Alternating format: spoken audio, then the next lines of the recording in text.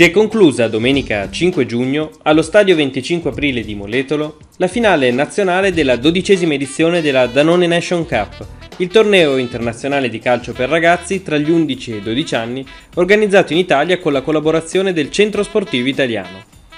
Oltre 2800 ragazzi provenienti da tutta Italia hanno partecipato alle 8 tappe regionali disputate in due intensi fine settimana di sport che hanno coinvolto anche le province di Andria, Bergamo e Cremona il 14 e 15 maggio, Genova, Roma, Cava di Tirreni, Reggio Calabria e Parma il 21 e 22 maggio.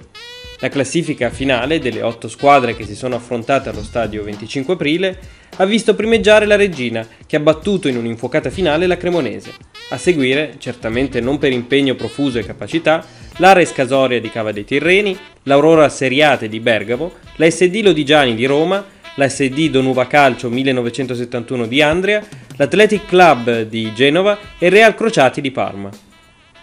In autunno quindi i ragazzi della Regina Calcio voleranno a Madrid, nel mitico Santiago Bernabeu, per contengersi, insieme ai ragazzi provenienti da altri 39 paesi di tutti e 5 continenti, l'ambito trofeo mondiale. La dodicesima edizione della Danone Nations Cup è stata patrocinata dal sottosegretario di Stato alla Presidenza del Consiglio con delega allo sport, onorevole Rocco Crimi, dall'Agenzia Nazionale per i Giovani, dalla Lega Nazionale Professionisti Serie A, dalla Lega Nazionale Professionisti Serie B e dalla Regione Emilia-Romagna. Inoltre, il Presidente della Repubblica ha voluto destinare una medaglia, quale suo premio di rappresentanza, a questa dodicesima edizione Sostenitori del progetto anche Adidas, Canon, Eurosport, Ferrarelle, Hokkaido e Pro Evolution Soccer 2011.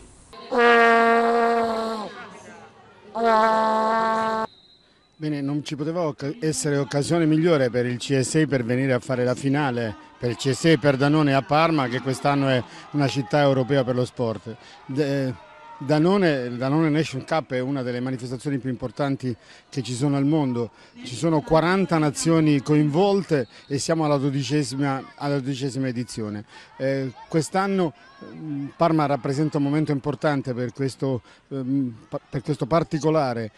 significato di evento che viviamo qui con noi quest'anno. C'è una cosa da dire, c'è questa finale italiana è la una, la decima che si disputa fino ad oggi in, in, tutto il mondo e quindi siamo già pronti per vivere l'esperienza del 9 di ottobre a Madrid. Io sono reduce dell'anno scorso in Sudafrica, ho assistito a un momento veramente emozionante di questa attività e, e quindi credo che non si possa dire altro che di trasmettere questo entusiasmo che i giovani hanno, che questi ragazzini hanno per vivere un'esperienza veramente di grande rilievo, non soltanto dal punto di vista calcistico ma fondamentalmente dal punto di vista umano. Ecco, Danone Nation Cup rappresenta questo, un momento significativo tecnicamente intenso ma anche un grande, un grande momento di valori che si esprimono nella partecipazione e nella gioia di vivere in uno sport veramente vissuto. 2800 ragazzi che si sono contesi in giro per l'Italia a questa finale di Parma. Oggi otto squadre si contenderanno invece la grande finale di Madrid a Santiago Bernabeu, uno stadio storico,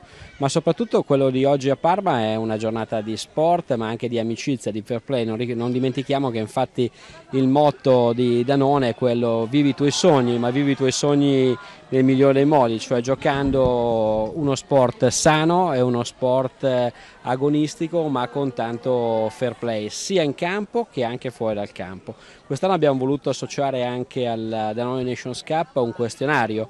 per i mister e per gli allenatori di tutte queste squadre per capire qual è lo stile di vita di questi ragazzi e magari lavorare insieme al CSI che è il nostro partner storico nella manifestazione per correggere gli stili di vita non adeguati da Parma al Santiago Bernabeu di Madrid per vivere una finale internazionale sempre più emozionante, ma non ci sarà solo la squadra azzurra nel cuore della DNC Italia, ci sarà anche la squadra di Haiti, la squadra di Kenskov che è ospitata da Danone Italia grazie alla fondazione Francesca Rava. I ragazzi dell'Orfanotrofio andranno a Madrid a fare una finale internazionale insieme a tutti i loro coetanei. Questo è anche il modo per vivere lo sport, vivere lo sport in amicizia ma con tanta solidarietà.